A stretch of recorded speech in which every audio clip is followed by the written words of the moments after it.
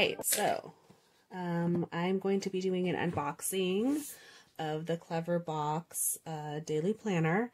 I um, have been a bullet journaler off and on, I would say, for the past three or four years and have mixed in a mix of digital planning and paper planning.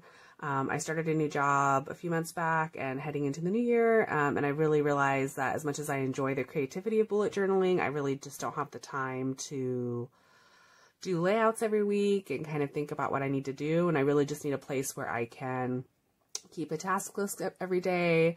Um, mostly I do all of my appointments digitally and I just need to be able to look at that at a glance and then do some weekly planning. So I had read some reviews on Amazon, did a little bit of research and had heard about this Clever Fox Planner. So wanted to give it a go for um, 2021. So I got this on Amazon. Um, I forget how much I paid for it. I think it was like 26 or $27. So not the most pricey planner I've ever, ever purchased, not the most inexpensive, but I've heard good things. So it comes in this little white box um, with the, it looks like kind of a greenish Clever Fox logo on the front. And then just unbox it. Let's see. All right, so the first thing you get is it looks like a little instructional manual on how the planner works. It's a little dusty. Um, and kind of uh, one of the things I liked about it is kind of had like a a review process. So there's different sections. It looks like. Um, a place for gratitude and self-awareness, a vision board, um, a daily rituals thing. I'm really into doing morning routines. And one of the things that really helps me is to be able to write it down. So that's one of the things that attracted me to this. There's different productivity hacks, mind mapping. Uh, one thing I really like was there's like a weekly page and a monthly page. So, um, and then dot grids, which is kind of a bullet journal thing for those of you who know it. Um, and the other thing is there's a page for every day.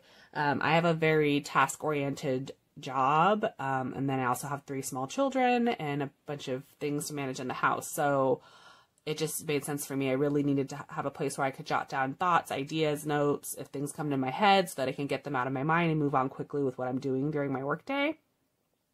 Um, and so that's that. So it looks like it gives you a an instruction for each section of the planner, which is nice. So I suppose I'll probably go through this um, just to kind of see what their thoughts are on that and like how you can kind of use the planner and maximize it. So I'm going to read more about this, but this is, it's kind of nice. You don't usually get like an instruction manual with a planner typically. Um, so I, I appreciate that, you know, that comes with.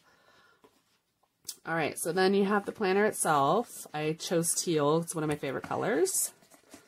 All right, and it's pretty thick, and this is dated, and it's only a six month, so it's pretty thick because you have a page for each day, and it's six months. So one of the other things that attracted me to it was that, oh, sorry, keep bumping that, um, was I tend to like either use a planner for a little while and it doesn't really work for me, um, and so I like the fact that it's only six months, so like if for some reason it's not, you know, making me excited, I can not feel too bad that I I'm switching to a different planner that's really for 12 months.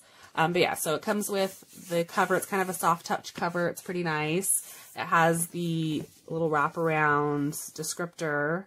Um, so yeah, it's got a monthly review, weekly review, daily review, habit tracker, areas for like affirmations, gratitudes, and then it talks about it being six months. It looks like it has a pretty sturdy pen loop, which I like.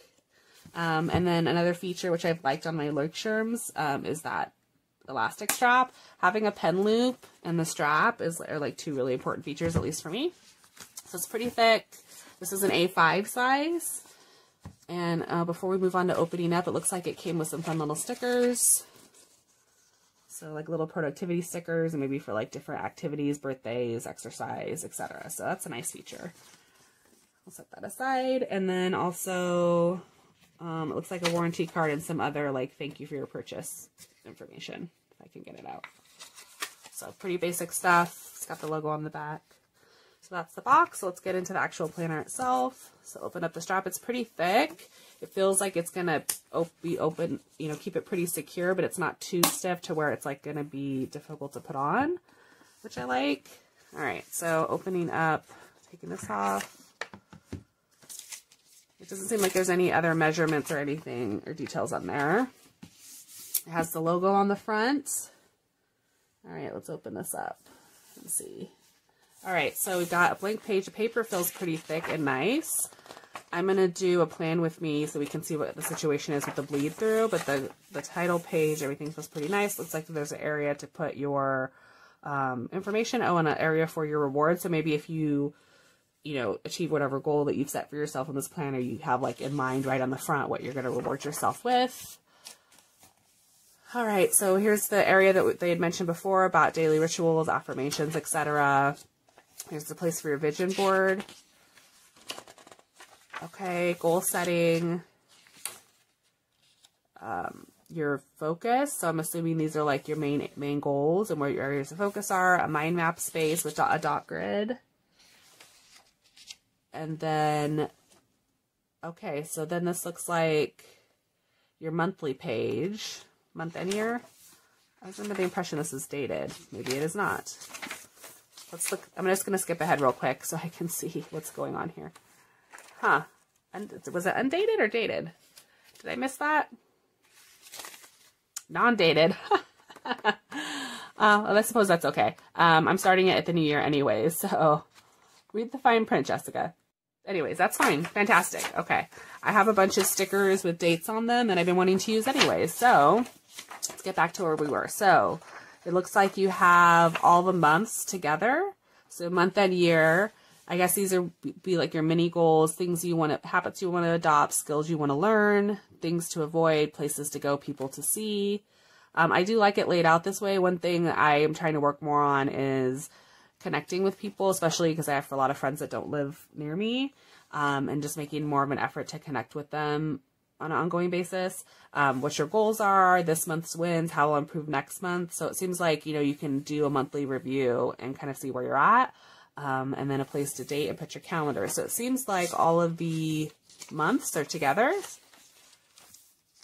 which I guess is good because you can kind of like when you're planning ahead, you can kind of just flip through the months. And then it looks like you've got your weekly planning. So it looks like you've got your weekly page and then it heads into the, to, into the daily page. So you've got a, a, main goal for the week and then a reward for yourself if you achieve said goal. Um, what your priorities for a week. And if you know like the Ivy Lee method, usually you want to have like up to six goals for a day. Like that's the most you can accomplish. And then like maybe top you know, two to three priorities. Oh, I like this. Okay. So this is something that's been really a struggle for me is like all the things I have to do personally for my family life and for myself and then managing work. So I like that you they have like your goals for the week split up by work and personal. That's really nice. And then a habit tracker. And then looks like these are your life balance. So earlier you saw with the goal setting there was different areas where you could goal set. And it looks like this kind of keeps you top of mind of what you're actually trying to work on in these areas, which I think is really nice.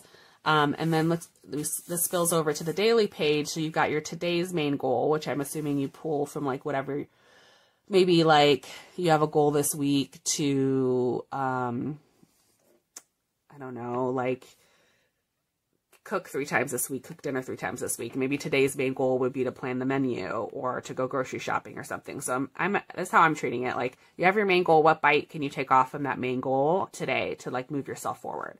And then what your today's priorities are. I like that there's three lines. I usually try to focus. This is great for me because I try to do calendar blocking digitally and it just never seems to work for me. Um, also, in terms of keeping your inbox closed and really only checking it a couple times a day, it's hard to do that when your calendar is on your Outlook. So I um, was really looking something where I could concisely keep a schedule of what I've got going on, um, so that I can kind of see what's on my calendar and not really have to be always staring at my my computer, my my inbox. And I like how it starts early. I tend to get up early. I do my workouts early, so this is good. Um, and then a basic to-do list, again, only six. So I like this because I feel like for me, like I, I usually have a long running to-do list and I end up numbering stuff. And then I see something else on my to-do list and I end up skipping around instead of doing things in order of priority. So what I think I'm going to do is I'm going to put the three things I need to get done for like my work tasks that day and then put the rest of my tasks down here so that um, I'm not getting distracted and I could really get things done. I think this is going to actually be really good for me. Um, and then, you know, you can rate your productivity at the end of the day. So when I'm done, before I like do my daily like log off from work, I can kind of look at how I actually did. So maybe what I'm going to do is like write down my ideal schedule, maybe over in this half, and then kind of write down how it went throughout the day. Um, so I can track my time better and see how I'm actually doing staying focused. I think this is going to be, I've been looking for something where you know, I could have some creativity with it. It was a little flexible. Um, you know, there's definitely space to put stickers and do different colors. So I like that. I think that's going to be really good. All right. And so then you have a weekly pay, a daily page for each day of that week. Oh, this is great. Okay, so then you have weekly notes. This is fantastic. Okay, so one of my issues is like I'll come up with an idea or something I need to take care of, and I end up like either sending myself an email and then it gets lost, or I put it on like a notes app. This is great because I can really like, I can put a paper clip here and then, you know, if something comes up that I need to do, whatever it is, it could be a million things, doing laundry, picking up something, something for work. I can just kind of write my notes here of all the things I need to do and then carry it over from week to week, which is really great. I like that idea. Okay, and then this is the thing I was really excited about was the weekly review. So was my goal achieved? What were my wins? What did I not complete and why? What habits did I not pursue? What have I learned? How do I feel about my progress and how will I improve? So really like I've watched a lot of great YouTube videos about this whole concept of a weekly review and I was trying to implement it in like a bullet journal sort of method and it just wasn't working. So I need like a combination of structure and flexibility. So for me, like I'm busy, this is, has everything that I need, it seems like, and I'll be able to maybe be more productive. That's the hope. And then you go on to your next week, and I think the process repeats. So let's skip ahead. Oh, and we didn't address this. It has, looks like three ribbons. So in this case, it's like a dark teal, kind of a lighter teal and like a goldenrod or gold. So this is actually good because what I can do is you can, you know, mark your monthly page, mark whichever day you're on, and then, let's see here, mark that notes page. So then I'll have, have those all set so I can easily flip through the different areas that I'm going to be using like on a daily basis, which I think is good. So let's get that over a little bit. All right, so let's flip ahead to the back and see. Ooh, looks like there's more notes. So that's all that. And then, ooh, lots of dot grid in the back for notes. So, you know, this might be an area where I want to reference, I don't know, shopping lists, uh, birthdays. I'm not really sure yet what I'm going to do for, with this yet, but I like that there's plenty of notes pages back here. Um, that's really great. Fantastic. And it's a nice dot grid. It looks like it's pretty well laid out. And the, the dots are not too dark or not too light, which I like. And then there's a pocket in the back. And it looks like it's got kind of a ribbony material in the gusset. So it's pretty solid.